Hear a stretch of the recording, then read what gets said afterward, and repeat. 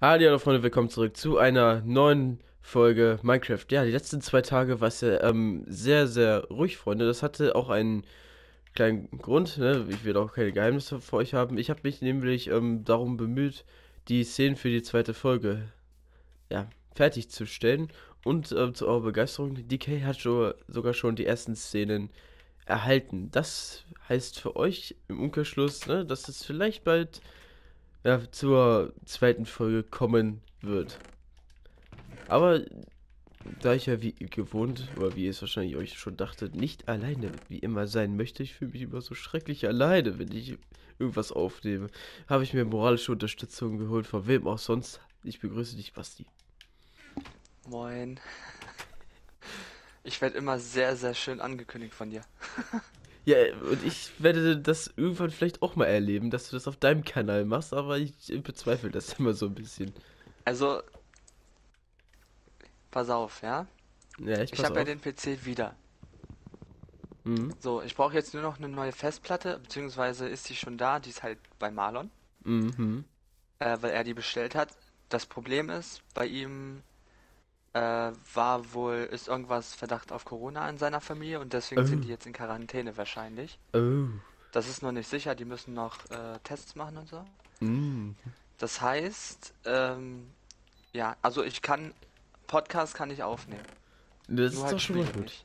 Das ist doch schon mal nicht schlecht, dass man dich auch dann bald vielleicht mal wieder im Podcast hören darf. Ja, Über du uns bist ja beide. dann mein Podcast-Partner. Ja, Richtig. Freue ich mich schon drauf, mal wieder einen Podcast aufzunehmen. Wir müssen uns nur ransetzen, was wir da machen wollen und dann. Ja, das, das, krie- das kriegen wir schon hin, ne? Wenn Palette und ähm, Birgi das hinkriegen, dann sollten wir beide das erst recht hinkriegen, ne? Haben wir ja schon einmal. Genau, haben wir ja schon einmal hingekriegt, dann sollten wir es auch wiederholen Ja. können, ne? Richtig. So. Aber du fragst dich sicherlich, was ich mir für ein schönes Thema für heute Ich ausgesucht habe. richtig. Äh, ich merk schon. Und Also zwar, ich kann es mir vielleicht denken, aber. ja, es geht um DFB-Pokal tatsächlich. Lol, okay. ah, nee, da bin ich, da bin ich tatsächlich raus. Oh, oh, oh. Weil Hannover hat so das Schwierigste losgezogen mit RB Leipzig. Okay, ja, keine Ahnung. Ich habe nichts. ich weiß davon tatsächlich nichts. Okay. Ja gut, ne, aber ähm, ich wollte mal zusehen, dass ich denn dafür vielleicht mir Karten hole. Mal gucken, ne, wie es im März aussieht. Ne, mit Corona und Karten? allem. Ja, für DFB-Pokal. Achso, für, für das. Für Spiel. Dann wollte ich dann mit meiner Freundin dann ins Stadion. Aber mal schauen, Ja, wie es dann mit Corona ausschaut. Ich wollte gerade sagen, ja, wenn es dann mit Corona passt, dann ist ja. Ich hoffe es. Und wenn die Tickets nicht allzu schnell weg geil. sind. Ist auch wieder so eine Frage. Ja, als ob. Also ja, ich glaube nicht, dass da ganz so viele Leute hinge- hingehen werden. Ne. Hingehen werden Weil die, wahrscheinlich. die Leipziger Plätze, weiß ich nicht, ob die ausverkauft werden. Ja, ich weiß auch nicht. Also mit Tradition haben es die Leipziger ja nicht so. Oh, ja, was würdest du sagen? Traditionsvereine. Pff, 2009 gegründet. Hallo? Ja. Wir sind locker 200 Jahre älter als die. Ja gut, fast. 150 auf Äh. jeden Fall. 96. Da, da kann man schon ein bisschen von Tradition reden, aber es ist trotzdem nicht so wirklich Traditionsverein. So, warte mal. Äh, 2009 und 1896. 113. Na dann. Ja. ja. Und Dortmund ist genau 100 Jahre älter. Ja, Das weiß ich noch. 18, 1809 wurde der gegründet. Oder? Ne, 1909, meine ich, oder? Ja. 18. Ja, sind wir ja auch älter als ihr. paar Das ist richtig, Jährchen. ja. Aber ihr seid trotzdem schlechter. Moment mal, wer ist auf dem DFB-Pokal raus? Ja, welche Liga spielt ihr? Das spielt beim DFB-Pokal keine Rolle. Ja, doch.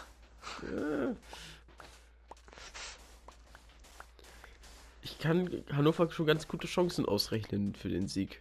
zwar nicht unbedingt als Favorit, aber sie sind nicht chancenlos auf jeden Fall. Vielleicht, vielleicht als Heim, Ja, als Heimsieg.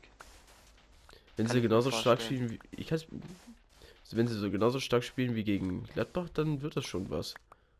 Kann das was werden? Dann hoffen wir mal das Beste für 96. ja, du vor allem, ne? Als BVB-Fan, ne? Mhm, okay. Ja, ja. Man merke es sich sehr stark vor, dass er BVB-Fan ist. Aber gut, so einen habe ich ja noch in der Familie. Grüße gehen dann raus an Zombie. Stimmt, dein Bruder ist auch Dortmunder, ne? Mein Bruder ist auch Dortmunder. Das ist ein guter, ein guter Junge. Hast gehört, ne? Ist er gut, der Junge sein soll. Der hat äh, Gehirn, weißt du? Ja, ja. Alle mit 96. Aber ich muss sagen, 96 immer, ist immer noch besser als Peine Ost. Oh. Hör bloß auf. Ja, also ich bin zwar kein 96-Fan, aber Braunschweig ist noch schlimmer. Äh, b -b erwähne diesen Namen nicht in meiner Gegenwart. Peine Ost, sorry. Danke. Beine Öst. So. Das musst du jetzt auch unbedingt sein mit diesem ostdeutschen Akzent, ne? Osten kam vor, also. Weil wir haben bei uns äh, einen Feindsleiter, der spricht genau so, ja, was wollt ihr schon Ja. wieder? Wollt ihr die Weichen prüfen? Ja, guten Morgen, wollt ihr die Weichen prüfen? so ungefähr. Dann, du verstehst nur die Hälfte davon, was er sagt. Ja, ich stelle die Weiche in Ja. so drei, 30 Minuten um. Der Zug, der Zug ist ja gerade im Anflug. Ja. Weißt du, wo der herkommt? Der kommt bestimmt direkt aus Leipzig oder so. Wir haben tatsächlich einen uns in der Lehrgruppe vom Sigmech, der kommt direkt aus Leipzig. Aber nicht direkt aus Leipzig, aber Umgebung Leipzig. Okay, Das- aber. Also, äh, also spricht der übelst. Den, hat er einen übelst harten Akzent? Ich sage jetzt nicht den übelst harten Akzent, aber man merkt schon, dass er aus dem Osten kommt, sagen wir es mal so. Okay. Weil wenn du. äh, Warst du schon mal in Leipzig? Äh, ja, ich war schon mal in Leipzig. Zwar nur kurz, ja, hast du aber... mal gehört. Hast du mal gehört, wie die da sprechen? Ja, habe ich. Ich habe kein Wort verstanden. Weil mein, ähm, mein Bruder wohnt ja da, weil meine, Mhm. äh, also weil die Frau von meinem Bruder, beziehungsweise Verlobte immer noch, Hm, ähm, ja, aus Leipzig kon kommt ursprünglich. hm. Und äh, das ist schon ein paar Jahre her. Da haben wir die besucht. Und dann haben wir mit den Eltern, waren wir, glaube ich, Bowling spielen oder so. Und dann, keine Ahnung, wir waren halt da und wir haben nichts verstanden. Google-Übersetzer fragen. Ey, das wäre auch eine gute Idee. Weißt du, so ein Dialektübersetzer oder so. so, das wäre geil. Äh, verstehst du auch endlich mal die aus Bayern und was die wollen die überhaupt? Du denkst ja, Alter, was wollen die jetzt von mir? Dabei wollte die dich nur nach dem Weg fragen. Wobei an, an sich eigentlich auch geht. Ich glaube, mittlerweile sprechen sowieso die wenigsten noch diesen übelst krassen Akzent. Ja, in, in der Stadt glaube ich. In der Stadt glaube ich sowieso eher weniger, aber auf dem Land, ich kann es mir da noch gut vorstellen, dass er sehr hart diesen bayerischen Akzent gesprochen wird.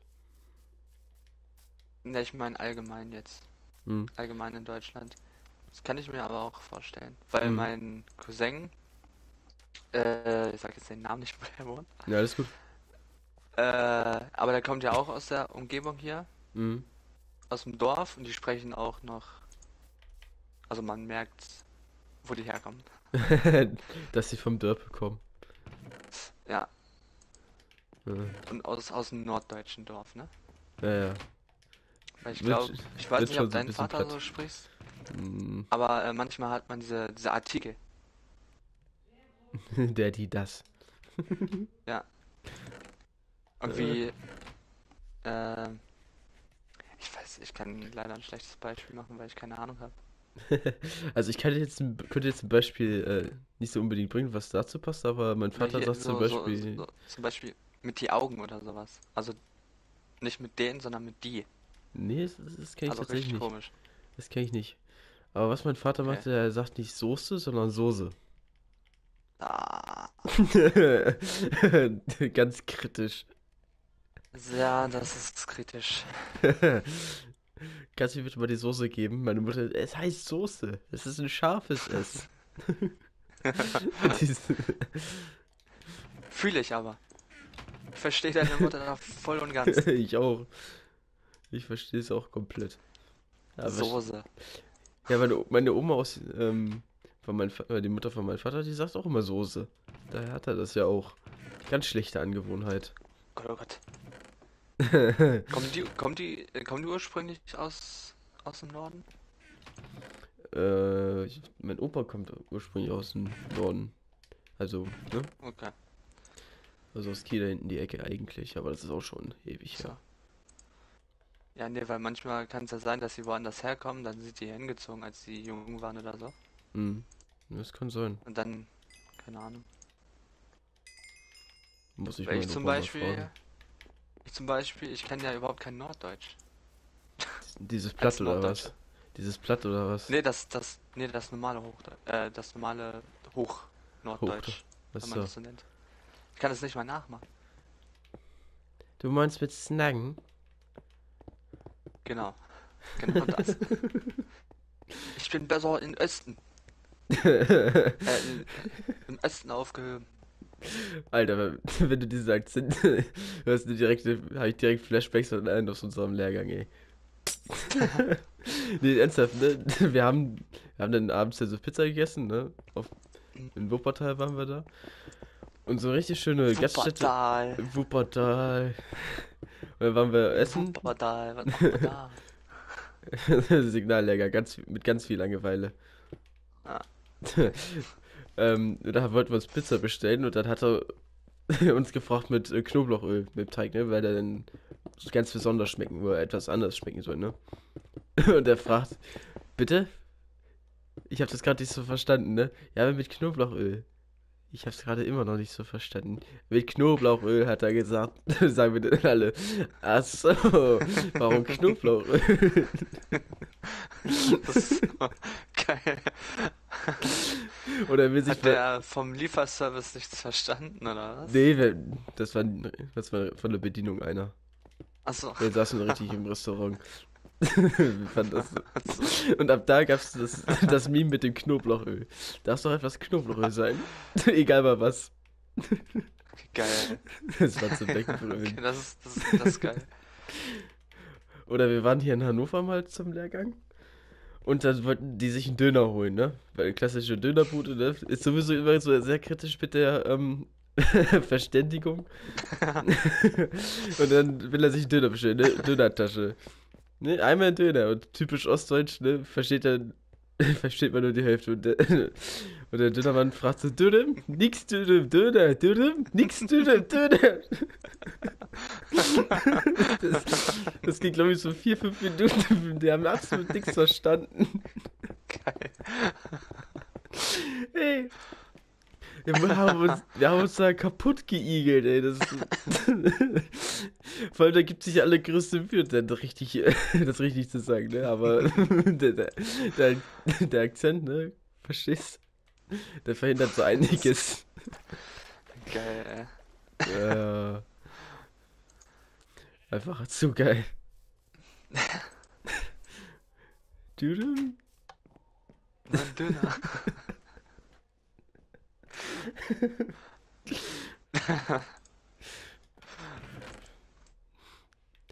Oh, oder wir gehen das eine Mal in Witten zum Bäcker vom Lehrgang, wollen uns was zu Frühstück holen und der will sich so äh, ähm, Brötchen holen, ne? Und fragt nach einer Stulle. Sie dreht sich um, will ihm gleich ein ganzes Brot geben. Nee, ich will diese Stulle da, das heißt Brötchen bei uns. Aber so richtig so, das heißt Brötchen bei uns. Geil. So richtig aggressiv. Was ist, was ist, Witten ist NRW, ne? Ja, ist auch NRW. Oder? Ja.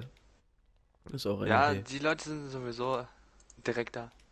Die haben direkten Humor. Okay, aber Humor weiß ich nicht. Aber sind sehr direkt. Ja, ist auch gut so. Finde ich gut. Mit dem Na, mal, was ist denn los mit dir?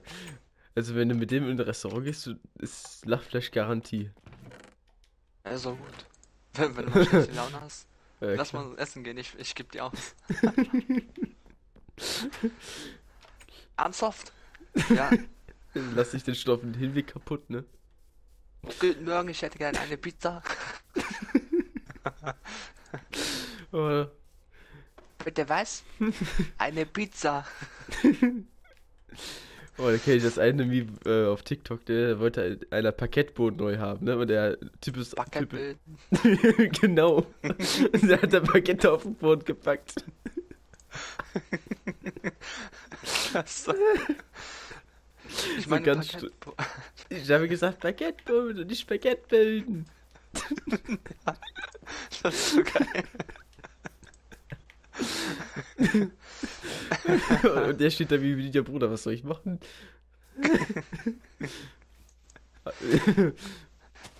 Baguetteböden, Ich habe gesagt, Parkettböden und nicht Parkettböden. nicht Baguetteböden. Zu geil.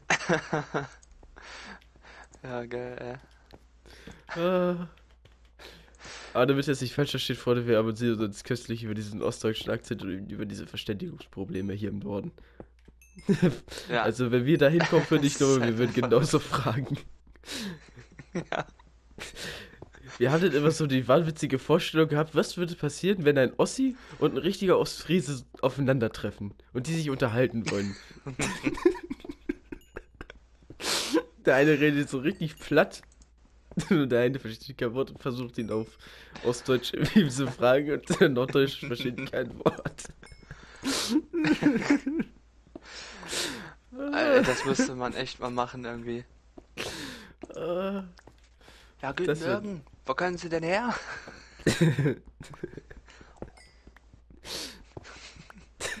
Das war dein Part. Ich kann kein Deutsch. Ich kann auch Kein- kein, ich kann auch kein Platt. Das ist das ganz große Obwohl, Problem. das- Ja, okay, okay. Ja, gut. Kann das überhaupt noch irgendwie jemand? Ja, aber man kann das, glaube ich, ähm, gibt, soll bald so eine App geben, da kann man das lernen tatsächlich. Lol. Plattdeutsch. Weil man braucht es halt auch irgendwie nicht. Ne? Ja. Außer man macht sich halt drüber lustig. ja, ja. Obwohl ich kann mir vorstellen, in, in so NDR-Produktionen oder sowas ist es ganz gut, wenn man das kann. Hm. Auf jeden Fall. Ja, ist doch Norden. Weiß ich nicht. Ja, Vielleicht denken die sich, oh, wäre ganz cool, wenn du das sprechen könntest. Hm. Eieieiei. Allein diese Vorstellung, ihr meine Güte. Was gibt's denn noch? Ja gut, in, ich glaube, Norddeutsch und Bayern hatten wir auch schon, ne? Ich war auch schon in Hm. Österreich. Hm. Ist dann noch schlimmer. Ja, die da ganz gut, ganz gut Hochdeutsch sprechen können. Ja, Schweiz ist ja ganz extrem schlimm, ne? Die sprechen ja dieses Schweizerdeutsch. Ne, die Österreicher, die haben so einen Schweizerdeutsch. die haben so einen österreichischen Akzent, ne? Das, da kann man sie teil, vielleicht teilweise verstehen, aber Schweiz, ey, boah. Huchichachli. Mhm. Was heißt das? Küchenschrank, Alter. Ich hätte jetzt absolut keinen Plan davon gehabt. Ja, Ich hätte jetzt einfach Deutsch gesagt, ja, sie direkt. auch. Küchenschrank. Huchichachli, Alter. Hört sich ja an, als würdest du irgendwas aus Versehen gemacht haben. Huch, ich hätte. Ja, das kann man denken, ja. Ganz starke Verwechslungsgefahr bei dem. Huchichachli, tut mir leid. Entschuldigung, ich wusste nicht, dass sie da irgendwas machen wollen. äh, hast du noch wild. irgendwas, was du ansprechen willst? äh, was gibt es denn noch so für schöne Akzente in uns in Deutschland? Bayern hatten, haben wir ja schon erwähnt. Sack, Ostdeutschland, also Sachsen und so haben wir schon erwähnt. Norddeutschland. Berliner, Berlinerisch? Ja, Berlin, das, das, die Ickis, die, die finde ich ja ganz sympathisch, weil da kommt ja die Hälfte meiner Familie geführt. Überlebt die Hälfte meiner Familie. Das finde ich eigentlich gar nicht mal so schlimm zu verstehen. Ah. Ich finde aber auch, die Berliner haben immer so einen sehr schönen Humor, muss ich sagen. Ja, finde ich auch. Also, diese Lachen, die sagen Sachen, da kommst du im Leben nicht drauf. Aber irgendwie ist es trotzdem total witzig. Ja, so Beispiel. Boah. Jetzt fragst du mich was, ey. Jetzt fragst du Ja, mich weil du was. da im Leben nicht drauf kommst, weißt du? Äh, eben drum. ich bin kein Berliner, ich bin Norddeutsche. Und wir sind ja eigentlich, das Ding ist, wir sind ja vom, wenn wir Norddeutschland angucken, sind wir ja relativ südlich, oder? Ja. Schon. Nee, südlich nicht, aber ähm, Oder mittel, wir sind schon so Ja. Richtung Mitteldeutschland, na, ne? südlich, südlich von, Mhm. von Norddeutschland, oder nicht? Ja, wir sind südlich von Norddeutschland. Ja, gut, kann man. Also wenn wir Norddeutschland nehmen, relativ südlich. Ja, das stimmt. Obwohl wir auch sehr viel Küste haben an, äh, an der Grenze von Niedersachsen, habe ich, hätte ich beinahe gesagt, ne? Ja, zu Hamburg, ne? Äh, zu Hamburg. Ei, ei, ei. Was gibt's denn noch? Baden-Württemberg. Ja, Baden-Württemberg, da war ich äh, zum Beispiel in Stuttgart unten. Da finde ich es zum Beispiel ganz angenehm, weil die haben auch diesen, ja, ich sage jetzt mal so eine Art bayerischen Akzent, aber der ist deutlich verständiger. Okay. Also ich war irgendwie eigentlich nur im Osten. Lustigerweise. Ja, gut. Ich war jetzt nur einmal im Osten, da musste ich einmal kurz umsteigen. Ich habe gedacht, Alter, was ist das denn hier? Ich verstehe kein Wort. Naja, Berlin ist auch Osten. Ja, gut, aber ne? Nicht so eins der klassischen neuen Bundesländer. Ja, gut. Weil ich habe denn da auch so eine Ansage gehört, ne? Die Lautsprecher der Deutschen Bahn sind sowieso nicht so hervorragend, ne? Hm. Und dann dieses Ostdeutsche dazu, Bruder, ich war komplett lost. Du hast so irgendwelches Genuschel verstanden. Aber ich dachte, die, die, äh, die machen das so einheitlich, weißt du, dass sie dann einfach nur mal Hochdeutsch dann sprechen. Ja, ich glaube, das weil ist das deutlich ich, glaub, verständlicher ist. ich glaube, das ist versuchen, aber durch diesen ostdeutschen Akzent wird das irgendwie so ein bisschen zunichte gemacht, glaube ich. Ich weiß es aber nicht so genau. So. Dann sollen sie sich Leute ranholen, die Hochdeutsch sprechen. Aber gut, Freunde, das soll es auch äh, für diese Folge gewesen sein. Die z- 20 Minuten sind schon wieder rum. Äh, ich würde mal sagen, Basti, machst du mal die Abmoderation, so wie du es am Sonntag gemacht hast bei DK, ne? Ich überteile dir mal das Wort. Schon wieder so spontan. Ja, sehr spontan. Aber, aber ich hab's, aber ich hab's ja schon mal gemacht. Also, äh, was sagst du immer? Äh, ich habe keine Ahnung. Äh, vielen Dank fürs Zuschauen. Und weil du das immer vergisst, sage ich das jetzt. Ähm, in der Endcard sind noch, äh, glaube ich, zwei Kanäle verlinkt und ein Video, wenn ich Mhm. mich richtig daran erinnere. Ne, das ist Ja. absolut richtig, ja. Genau. Und äh, guten Start in die Woche kann ich nicht mehr sagen. Heute ist welcher Mittwoch. Tag? Lest das heute hoch? Mittwoch. Ja, Also- Mittwoch. Heute ist Mittwoch. Wieder der Woche. Okay. Ja. Ja, also guten Mitte der Woche. Frohes Bergfest. Was sagt man denn? Frohes, Frohes Berg. Bergfest. Mann, Wir haben ja Mann, bald Mann. wieder Wochenende. Ja, ja, deswegen drum. Ja, ich. Ja, keine Ahnung. Also man merkt, ich bin nicht so der spontane Mensch. Ja, alles gut. Also, Sag jetzt einfach Tschüss. reingehauen. Ciao, ciao.